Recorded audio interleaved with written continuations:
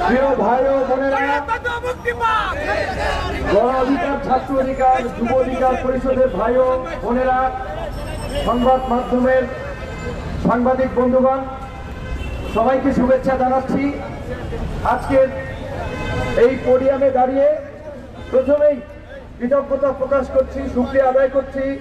মহান আল্লাহর প্রতি যিনি এই দেশের বাইরে তিনটি দেশ ঘুরিয়ে এই দুর্বৃত্তদের ষড়যন্ত্র মোকাবেলা করেও দেশে আসা তৌফিক দান করেছেন, সেজন্য আল্লাহর কাছে সুক্রিয়া জ্ঞাপন করি। একই সাথে ধন্যবাদ জানাই গণ অধিকার পরিষদের সর্বস্তরের নেতা কর্মীদের যারা আওয়ামী সাইবার লীগের, আওয়ামী গুজব লীগের অপপ্রচারের বিরুদ্ধে সঠিক জবাব দিয়েছেন। অপপ্রচার নিয়ে সোচ্চার ছিলেন। বন্ধুগণ, আপনাদেরকে আমি দু তিনটে কথা বলতে চাই। গুরুত্বের সাথে কথাগুলো বিবেচনা করবেন। প্রথমত, আগামী নির্বাচনকে কেন্দ্র করে আওয়ামী লীগ এস ইমাম সাহেব মারা গিয়েছেন। তিনি কিন্তু বলেছেন, আওয়ামী লীগকে পরবর্তীতে সাইবার যুদ্ধ ফেস করতে হবে। আওয়ামী লীগের বিজ্ঞান ও প্রযুক্তি কমিটি বলেছে, চার লক্ষ তারা সাইবার যোদ্ধা তৈরি করেছে। রাষ্ট্রীয় সম্পদ খরচ করে দেশের টাকা ব্যয় করে তারা বিরোধী এবং ভিন্ন মতের মানুষের বিরুদ্ধে অপপ্রচার এবং প্রপাগান্ডা চালানোর জন্য, গুজব চালানোর জন্য, প্রতিটি আসন ভিত্তিক, প্রতিটি উপজেলা ভিত্তিক, প্রতিটি ইউনিয়ন ভিত্তিক তারা অপপ্রচার এবং এই গুজব প্রচারের জন্য সাইবার বাহিনী তৈরি করেছে। সুতরাং আগামীতে বিরোধী দলের প্রত্যেকটি নেতা কর্মীকে এই সাইবার হ্যারাসমেন্টের বিরুদ্ধে শক্তভাবে জবাব দেওয়ার জন্য প্রস্তুত থাকতে হবে। সাইবার জগৎ সম্পর্কে জানতে হবে। তারা কীভাবে একটা ছবি এডিট করে, অডিও কাটিং করে তারা প্রচার করেছে। আমি জানি না অন্যান্য দলে এই আওয়ামী লীগের অপপ্রচার ঠেকাতে তারা কি পদক্ষেপ নিয়েছেন। আপনারা দেখেছেন গত নির্বাচনের আগে, বিশেষ করে বাংলাদেশে নির্বাচনের আগে বিরোধী দলের নেতাদের নানান ধরনের ফোনালাপ ভাষায়। কিছু সত্যিকার থাকে কিছু বানানো থাকে। সব ধরনের প্রযুক্তি কাটপিস এই আওয়ামী দুর্বৃত্তদের হাতে রয়েছে। কাজেরা মানুষকে বিভ্রান্ত করার জন্য আগামী নির্বাচনে আগেও এখন থেকেই এই কাজগুলো কিন্তু তারা করবে। কাজী সেই ক্ষেত্রে বিরোধী পথের মানুষকে এই গুজব এবং অপপ্রচারের বিরুদ্ধে স্বতঃস্ফূর্তভাবে প্রতিবাদ জানাতে হবে। গুজব এবং অপপ্রচারে কাম দেওয়া যাবে না। দ্বিতীয়ত, আপনারা একটা বিষয় জানেন। প্রধানমন্ত্রী কিছুদিন আগেই সংসদে বলেছেন, বিরোধী দল যদি বাসে আগুন দিতে আসে, হাত পুড়িয়ে দিতে। বিরোধী দল যদি কারও উপর আক্রমণ করতে আসে, হাত ভেঙে দিতে। উপস্থিত আপনাদের কাছে প্রশ্ন রাখতে চাই, দেশের আঠারো কোটি মানুষকে আমি প্রশ্ন করতে চাই, একজন প্রধানমন্ত্রী এইভাবে কথা বলতে পারেন কিনা?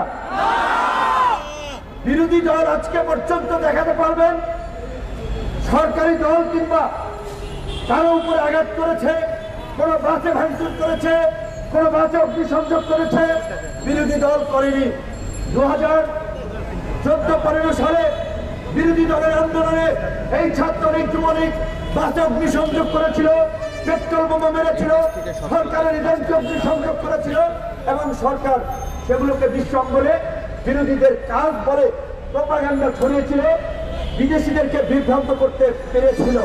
যে কারণে এই সরকারকে চোদ্দ সালের বিনামূল্যের নির্বাচনেও বিদেশিরা সমর্থন দিয়েছিল। তারপরে সরকার এই কথিত জঙ্গিবাদ এবং উগ্রবাদের ট্রাম কার্ড ফেলে সংখ্যালঘুদের উপরে হামলা করে সাম্প্রদায়িকতার নাটক তৈরি করে আবার বিদেশিদেরকে বিভ্রান্ত করেছে, সে কারণে তারা এতদিন পর্যন্ত বিদেশিদের কিছুটা সমর্থন পেয়েছিল।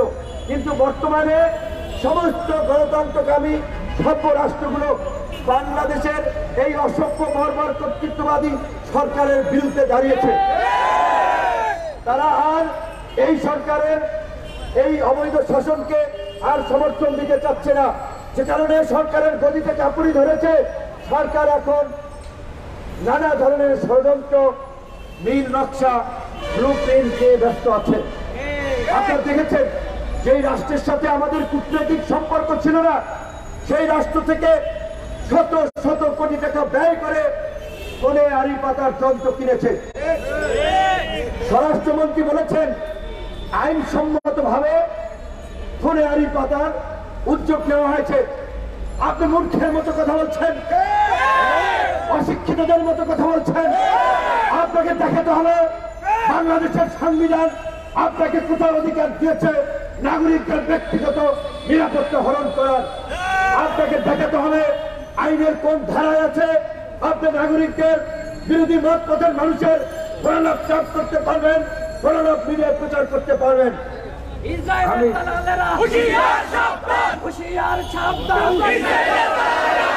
আমি গণমাধ্যমের গণমাধ্যমের ভাই বন্ধু মালিকদের প্রতি বিনয়ের সাথে অনুরোধ করব। আমরা তো ক্ষমতায় নাই যে শেখ হাসিনার মতো হুমকি দেব, গণমাধ্যম মালিকদের তেল দেখে নেব। আমরা এই ধরনের হুমকি দামকি দিতে চাই না। সরকার এই ধরনের হুমকি দামকি দিয়ে সবাইকে ঘরে ঢুকিয়ে দিতে চায়, সবার মুখ বন্ধ করে দিতে চায়।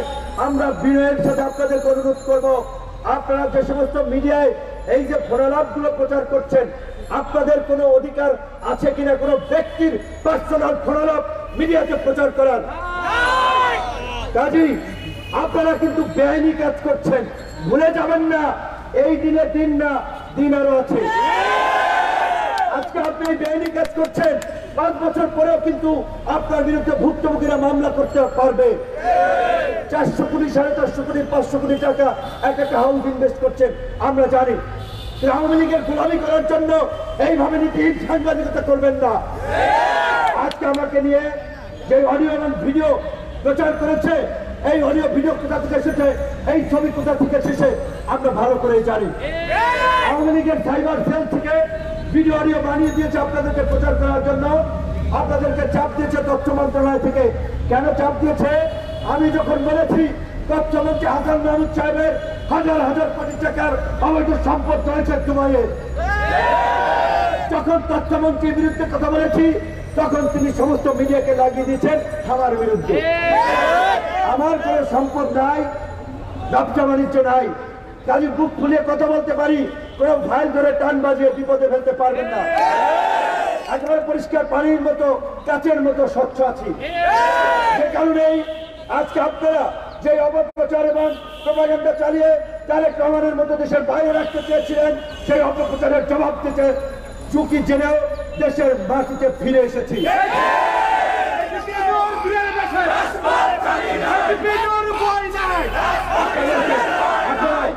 আজকে প্রধানমন্ত্রী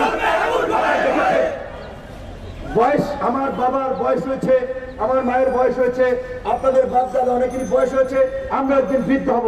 কিন্তু সায়েন্সকে তো আমরা অস্বীকার করতে পারি না। মানুষের বয়স হলে মেজাজ খিটখিটে হয়। মানুষের বয়স হলে নানান জনের অসঙ্গতি দেখা যায়। আমাদের প্রধানমন্ত্রীর বয়স আজকে পঁচাত্তর বছর।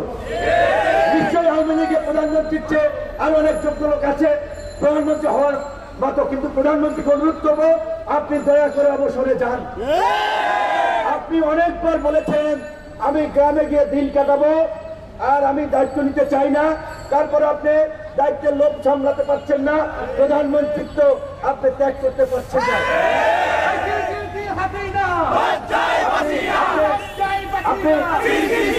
সবচেয়ে দুঃখজনক সবচেয়ে রাষ্ট্রের সর্বোচ্চ পর্যায় থেকে প্রতিনিয়ত মিথ্যাচার করা হচ্ছে এবং সমস্ত গণমাধ্যম সেই মিথ্যাচার প্রচার করছে। কি মিথ্যাচার? তারা বলছে, জনগণ নাকি তাদেরকে ভোট দিয়ে ক্ষমতায় রেখেছে। তারা নাকি গণতন্ত্রের ধারাবাহিকতা অব্যাহত রেখেছে। অথচ চোদ্দ সালে বিরোধী দল নির্বাচন অংশ নেয় জনগণ ভোট দিতে পারে নাই। আগামী সালে আগের রাতে ভোট হয়েছে। কাজে এই মিথ্যাকে যদি আপনারা আজকে মিডিয়া বলেন আওয়ামী লীগের লোকেরা বলেন প্রশাসন বলেন আমরা বলেন আপনারা যদি প্রতিষ্ঠার দায়িত্ব নেন আপনাদের উপরে আল্লাহ লানত নাজির হবে।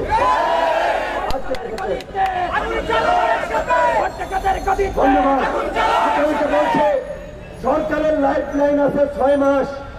ছয় মাসের মধ্যে যদি তারা সেই ব্যক্তি নেয় ভালো, না হলে তাদের পরিণতি ওই আপনার সেই আপনার মিশরের হস্তি মোবারক ওই আপনার রোমানিয়ার চচেস্কু বলেন, লিবিয়ার গাদ্দাফি বলেন, এদের চেয়েও নির্মম হবে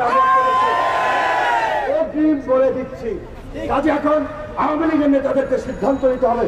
তারা কি শান্তিপূর্ণভাবে আবার সুস্থ নিরপেক্ষ নির্বাচনের মধ্যে দিয়ে বিদায় নেবে, নাকি জনগণের গণরসের মধ্যে দিয়ে বিদায় নেওয়া হবে? কিন্তু বলছে, তাদেরকে ছয় মাসের মধ্যেই বিদায় নিতে হবে। বিরোধী দলের নেতা কর্মীদেরকে বলব, আমি ব্যক্তিগতভাবে আশাবাদী, অত্যন্ত খুশি। আমার আমার মনে হয় আল্লাহ রহমত এই দেশের মানুষের উপরে নাজিল হতে যাচ্ছে, এই ফাঁসিবাদের পতন হতে যাচ্ছে। সমস্ত বিরোধী দল আজকে দল মত ভুলে তারা আজকে শেখ হাসিনার পতনের দাবিতে, আওয়ামী দুঃশাসনের অবসান ঘটনের দাবিতে তারা রাজপথে নেমে এসেছে। কিন্তু আমি আমি আজকে এই সমাবেশ থেকে, এই সমাবেশ থেকে ওপেনলি আমাদের আন্দোলনের সারথী, বৃহৎ রাজনৈতিক দল একাধিকবার রাষ্ট্র ক্ষমতায় ছিল, বিএনপি নেতৃবৃন্দকে বলতে চাই, আপনাদের আন্দোলনের রণকৌশল সঠিক পথে নাই। বিরোধী দলের সাথে বসে সঠিক রণকৌশল ঠিক করতে হবে। আপনাদের ম্যান পাওয়ার আছে মানি পাওয়ার আছে, কিন্তু আপনাদের সমন্বয় হচ্ছে না। আমি পার্সোনালি বলেছি, আজকে পাবলিকলি বলছি, কারণ আমরা বিএনপির সাথে দূরত্ব চাই না। বিএনপি বলেন, জামাত বলেন চর্মনায় বলেন কাবাত বলেন, আজকে যারাই বাম ডান শেখ হাসিনার বিরুদ্ধে আজকে রাজপথে আছে। সমাজ সুষ্ঠু, নিরপেক্ষ নির্বাচনের দাবিতে আছে। তাদের প্রত্যেকের প্রতি আমাদের ফেলো ফিলিং রয়েছে। তাদের সকলকে নিয়ে আমরা রাজপথে দুর্বার আন্দোলন করে তুলতে চাই, কিন্তু বিএনপিকে একটা জিনিস মনে রাখতে হবে। ছোট ছোট দলগুলোর সাপোর্ট নাই। তাদেরকে সাপোর্টকে কীভাবে তাদেরকে আরও করা যায়, সেই চেষ্টা আপনাদেরকে করতে হবে। সরকার রাজনীতির মাঠে গরু, ছাগলের হাট বসিয়েছে। রাজনীতিবিদদেরকে কোরবানির গরুর মতো দাম বাড়াচ্ছে। যারা টাকা পয়সা বিক্রি হয়, কাউকে সিট দেওয়ার অফার দিচ্ছে, কাউকে ফ্লোর দেওয়ার অফার দিচ্ছে অনেকে কিন্তু এই অফার গেলা শুরু করছে এবং এই সরকারের যে সংঘবদ্ধ সিন্ডিকেট, তারা দেশের সাংবাদিকদের সমস্ত গণমাধ্যমকে তো নিয়ন্ত্রণে রেখেছে। এখন ভারত থেকে এক একজন সাংবাদিকের পিছনে পাঁচ থেকে সাত লাখ টাকা করে খরচ করে তাদের এসে শেখ হাসিনার উন্নয়ন প্রচারের দায়িত্ব দিয়েছে। বাংলাদেশের উন্নয়ন ভারতে প্রচার করলে হবেই না বাকি। বাংলাদেশের আজকে সরকার উন্নয়নের কথা বলছে। পদ্মা সেতু করেছে, মেট্রো রেল করেছে, টানেল করেছে, আমরা অস্বীকার করছি না, কিন্তু এটাকে আওয়ামী লীগের নেতাদের টাকায় করেছে। আজকে আপনি আমি জনগণ, প্রতিনিয়ত যে ট্যাক্স দেয় সেই ট্যাক্স দিয়ে করেছে। বরঞ্চ বরঞ্চ চ্যালেঞ্জ করে বলব, এই প্রতিটি প্রকল্পে দুর্নীতি হয়েছে, জনগণের টাকা লুট হয়েছে। ওবায়দুল কাদের যদি মনে করে থাকেন, কোন দুর্নীতি হয় নাই প্রধানমন্ত্রী যদি মনে করে থাকেন, কোন অনিয়ম হয় নাই। আমি বলব, নিরপেক্ষ ব্যক্তিদের সমন্বয়ে একটা বিচার বিভাগীয় তদন্ত করুন মেগা প্রকল্পের দুর্নীতি নিয়ে। আসল স্বরূপ আমরা দেখতে পাবো। আমি বলেছি বন্ধুবান আপনারা অনেকে জানেন না, জানলে অবাক হবেন, বিস্মিত হবেন। এতদিন শুনেছেন, আমাদের দেশের ভোট ডাকাত, ভোট চোর, ব্যাংক লুটেরাদের সেকেন্ড হচ্ছে মালয়েশিয়া সিঙ্গাপুর কানাডা। কিন্তু আমি কনফিডেন্টলি বলছি তথ্য দিয়ে বলছি বাংলাদেশের অবৈধ সম্পদের লুটেরাদের আরেকটি স্বর্গরাজ্য পরিণত হয়েছে মধ্যপ্রাচ্যের দেশ সংযুক্ত আরব আমিরাত হাত ইতিমধ্যে ইতিমধ্যে হাইকোর্ট চারশো উনষাট জনের সম্পদ অনুসন্ধান করার নির্দেশ দিয়েছে। চারশো উনসত্তর উনষাট ষাট জনের মধ্যে তদন্ত করলে এইটি পার্সেন্ট পাবেন আওয়ামী লীগ। এবং আওয়ামী লীগের শুধু নেতা নয়, আওয়ামী লীগকে যারা সার্ভিস দিয়েছে, সেই সমস্ত আমলা কামলারাও আছে তালিকায়। আমি প্রশাসনকে অনুরোধ করে বলব, এদের লাইফ লাইন আছে ছয় মাস। এদের লাইফ সাপোর্ট ছয় মাস। কাজী, আপনারা আপনারা এদের পাশে থেকে আর জনগণের বিরুদ্ধে দাঁড়াই না সেদিন বিমানবন্দর থেকে আমি যখন এসেছি, আমাদের তিনজন নেতা কর্মীকে আমরা জানি না, জানলে আমরা ওই থানা ভেঙে তাদেরকে বের করে নিয়ে আসতাম। আমাদের তিনজন ভাইকে নির্মম নিষ্ঠুর, নির্যাতন করা হয়েছে রাজবড় এয়ারপোর্টে আমি উত্তরাঞ্চলের ডিসির সাথে কথা বলেছি। ডিসি সাহেব যে কথা বলেছেন, খুব দুঃখজনক, খুব ঔদ্ধত্যের সাথে কথা বলেছেন। বিপরীত পক্ষে বিমানবন্দর থানার অফিসে খুব ভদ্র, নম্রভাবে, সম্মানের সাথে কথা বলেছেন। এটা হচ্ছে নমুনা। প্রশাসনের মধ্যে সবাই দালাল না। সবাই সবাই শেখ হাসিনার চাকর না। সবাই আওয়ামী লীগের উচ্ছিষ্ট ভুগি না। এই প্রশাসনের ভাই বোনদেরকে বলব, এই সরকার পরিস্থিতি তৈরি করার জন্য তারা পুলিশের উপরে হামলা চালাতে পারে। পুলিশ মেরে বিরোধীদের উপরে দায় চাপাতে পারে। সামরিক বাহিনীতে এই সরকার অঘটন ঘটাতে পারে। যেমনি ভাবে অঘটন ঘটেছিল দু নয় সালের পঁচিশে ফেব্রুয়ারি সেনাবাহিনীর দক্ষ চৌকস অফিসারদেরকে হরতাল মিশনের নামে বিডিআর বিরুদ্ধে নাটক সাজিয়েছিল তারা। যেমনি ভাবে অঘটন ঘটেছিল। এদেশের ইসলামী শক্তিকে দমন করার জন্য সাবলা চত্বরে আলেম আমাদের উপরে গণহত্যা চালিয়ে। তেমনি ভাবে তেমনি ভাবে ষড়যন্ত্র করেছিল মোদী বিরোধী আন্দোলনে আলেম আমাদেরকে গ্রেপ্তার করে। আজকের এই সমাবেশ থেকে আমরা দাবি জানাচ্ছি মালানা মামুনুল হক, জামাতের আমির বলেন খালেদা জিয়া বলেন, সমস্ত রাজবন্দীদেরকে অনতিবিলম্বে নিঃস্বার্থ মুক্তি দিতে হবে। রাজবন্দীদের মুক্তি এবং মিথ্যা মামলা প্রত্যাহারের দাবিতে এই যে ধারাবাহিক আন্দোলন চলছে এই আন্দোলন শেখ হাসিনার পতনের আন্দোলনের উপস্থিত হবে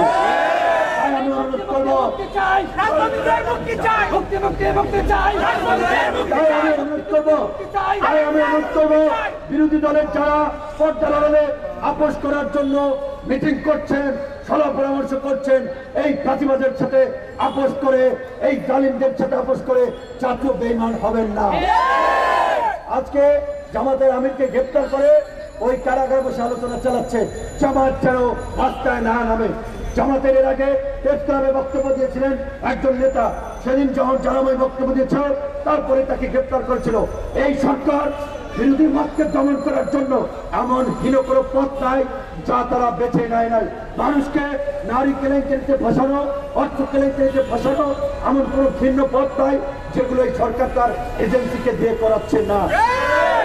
এমনকি আপনারা দেখেছেন কিছুদিন আগেই ব্রাহ্মণবাড়িয়াতে একজন বিচারককে ট্রেনে হিচকে নামাতে চেয়েছিল আওয়ামী লীগকে। আমি বিচারপতিদেরকে বলব, আপনাদের যদি বিবেক থাকে, আপনাদের উচিত ছিল অন্তত পক্ষে একদিন সমস্ত বিচার কার্য বন্ধ করে এই অন্যায় ওই চপেরাঘাত ওই ব্রাহ্মণবাড়িয়ার বিচারককে করে নাই, ওই চপেরাঘাত করেছে এই দেশের বিচার বিভাগের উপরে। আপনারা প্রতিবাদ করেন নাই। যেদিন এই দেশের প্রধান বিচারপতিকে পঞ্চাশ সন্তান লোকজন লাঠি মেরে ঘুষি দিয়ে এনে উঠিয়ে দিয়েছিল সেদিনও এই দেশের বিচার বিভাগ প্রতিবাদ করেন নাই। আপনাদেরকে বলব, আপনারা যদি আজকেও চুপচাপ বসে থাকেন, এর জন্য শুধু আপনাদেরকে নয়, সমস্ত জনগণকে পস্তাতে হবে। এই সরকার ক্ষমতার জন্য ইসরায়েল এবং ভারতের সাথে হাত মিলিয়ে বাংলাদেশকে আরেকটি ফিলিস্তান বানাতে চায়। আজ আমাদের জনগণকে সময় থাকতে সাবধান হতে হবে। আমাদের আমাদের এই সংকট থেকে উত্তরণের একটাই পথ আন্দোলন আন্দোলন এবং আন্দোলন।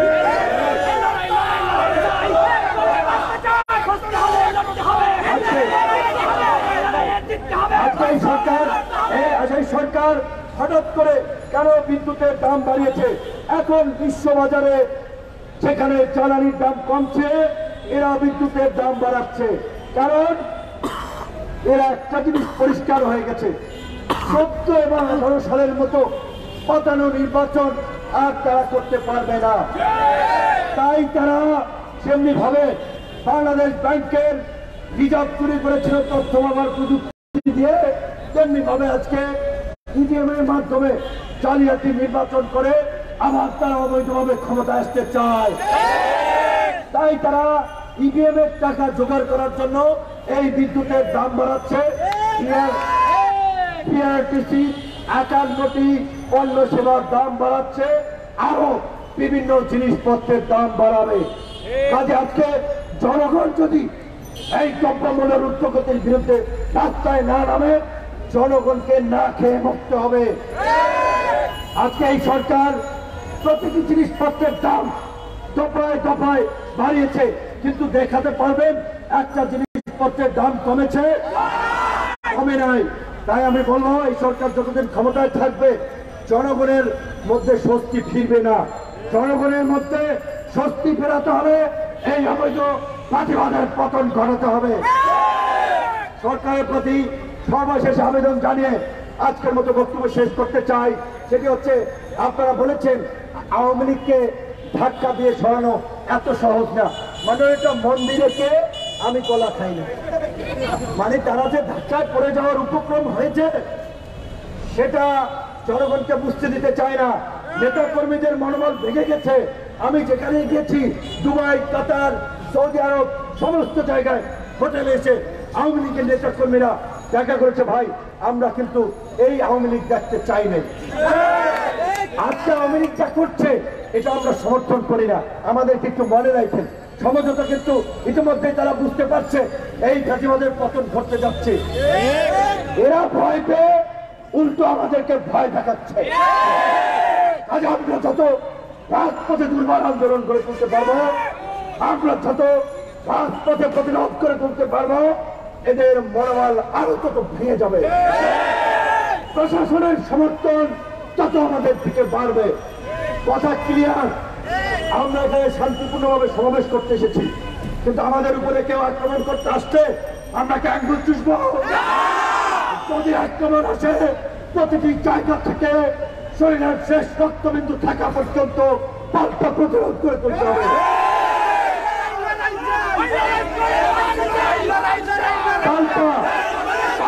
প্রতিরোধ করে না তুললে আপনাদেরকে প্রতিনিয়ত মার খেতেই হবে। খেলে হবে না। বেঁচে থাকতে হলে দিতেও হবে। আজকে অন্যায় ভাবে যদি কোনো প্রশাসনের ভাইরা আমাদের ভাইয়ের দিকে চোখ তুলে তাকায়, প্রয়োজনে তাদের সাথে লড়াই করতে হবে। আমরা স্পষ্টভাবে জানিয়ে দিতে চাই, প্রশাসনের সাথে তো আমাদের কোনো শত্রুতা নাই। তারা জনগণের চাকরি করে। আগামীকালকে যদি আমরা মুখ্যমন্ত্রী হই আমাদেরকে এই প্রশাসন সেলুট দেবে। সুতরাং প্রশাসনের ভাই বোনদেরকে বলব, আপনারা বাড়াবাড়ি করবেন না। আপনারা অতি উৎসাহী কাজ কর্ম মনোভাব দেখাবেন না। কালকে আমরা আসলেও আপনাদেরকে নিয়ে রাষ্ট্র চালাবো। আপনারাই ডিআইজি থাকবেন আপনারাই এসপি থাকবেন আপনারাই ডিসি থাকবেন আপনারাই সচিব থাকবেন। চাইলে কি আমরা রাতারাতি সচিব ডিসি এসপি নিয়োগ দিতে পারব? পারব না, কাজী। প্রশাসনের ভাই বন্ধুদেরকে বলব, জনগণের এই সংগ্রামের সাথে থাকুন। আপনাদেরও ভালো হবে। জনগণের বিরুদ্ধে দাঁড়াইন না। শেখ হাসিনাকে অনুরোধ করে বলব আপনি চারবারের প্রধানমন্ত্রী জীবনে আর কিছু পাওয়ার নাই। চারবারের প্রধানমন্ত্রী আর কি চান? দয়া করে আপনার ব্যক্তি স্বার্থের জন্য ক্ষমতার লোভের জন্য জনগণকে সংঘাতের দিকে ঠেলে দিবেন না। নিশ্চয়ই আপনার বাবার কথা মনে আছে। আপনার বাবা পাকিস্তানিদের উদ্দেশ্যে বলেছিল আমি প্রধানমন্ত্রিত্ব চাই না। আমি দেশের মানুষের অধিকার চাই। যদি একজন ন্যায্য কথা বলে, আমরা সংখ্যাগরিষ্ঠ হলেও আমরা মেনে নেব। আমি প্রধানমন্ত্রীকে বলব, আপনি আবার, আপনি আপনার বাবার আদর্শের সাথে বেইমানি করছেন। যারা আপনার বাবার চামড়া দিয়ে টুকটুকি বাজাতে চেয়েছিল, আজকে আপনি তাদেরকে সংসদ উপনেতা বানাচ্ছেন যারা আপনার বাবার হত্যাকাণ্ডের ব্লক রচনা করেছিল পঁচাত্তরে আপনি তাদেরকে এমপি বানিয়েছেন, তাদের গাড়িতে মঞ্চের পতাকা তুলে দিয়েছেন। এর চেয়ে বেইমানি, এর চেয়ে অসম্মান বঙ্গবন্ধুর প্রতি আর কিছু হতে পারে না। আপনারা যতই মুখে বঙ্গবন্ধুর আদর্শের কথা বলছেন, আপনারা ক্ষমতায় থাকার জন্য বঙ্গবন্ধুর আদর্শকে বিসর্জন দিয়েছেন আপনারা মুক্তিযুদ্ধের কথা বলে, মুক্তিযুদ্ধের চেতনাকে বর্জন করছেন। আপনারা গণতন্ত্রের কথা বলে দেশের ফাঁসিবাদ কায়েম করেছেন। কাজে আপনাদেরকে অনুরোধ করব, শয়তানের আয়ু থাকে এক যুগ। আপনাদের অলরেডি তেরো বছর হয়ে গেছে, এক যুগ এক বছর হয়ে গেছে। কাজে আপনারা চাইলে আর বেশি দিন টিকতে পারবেন না। তাই সংঘাতের পথ পরিহার করে আমার সুষ্ঠু নির্বাচনের জন্য প্রয়োজনের সংবিধান সংশোধন করুন। প্রয়োজনে রাজনীতিবিদদের সাথে আলাপ আলোচনা করে জাতীয় সরকার নিয়ে আলোচনা করুন। আপনারা আপনারা আপনারা আপনারা বারবার বলছেন সংবিধানের বাইরে যাওয়া যাবে না। এই সংবিধানকে কাটা ছেঁড়া করে আপনারা আজকে গণ বিরোধী সংবিধানে পরিণত করেছেন এই গণ বিরোধী সংবিধান দিয়ে বাংলাদেশ আর চলবে না। আজকে জাতির প্রয়োজনে নতুন সংবিধান রচনা করতে হবে। সেই সংবিধানে নির্বাচনকালীন নিরপেক্ষ সরকার অন্তর্ভুক্ত করে সুষ্ঠু নির্বাচনের আয়োজন করতে হবে। কোন চলবে না। আমাদের দাবি আমাদের দাবি আমাদের দাবি স্পষ্ট। আমরা কাউকে ক্ষমতা থেকে এনে হিসেবে নামাতে চাই না, কাউকে ধাক্কা দিয়ে ফেলতে চাই না। আমরা জনগণের ভোটের মাধ্যমে জনগণের সরকার প্রতিষ্ঠা করতে চাই। একটা অবাধ সুস্থ, নিরপেক্ষ নির্বাচন চাই। আমার আমাদের ধারাবাহিক আন্দোলন চলছে। চলবে বিশেষ করে এখন থেকে কর্মসূচি থাকবে। এই বিদ্যুতের দাম না কমানো পর্যন্ত প্রতিনিয়ত সমস্ত দলের কর্মসূচি চলছে। আমাদের কর্মসূচি চলছে জনগণকে জনগণের আন্দোলনে সামিল হওয়ার আহ্বান জানিয়ে আজকের মতো শেষ করতে আল্লাহ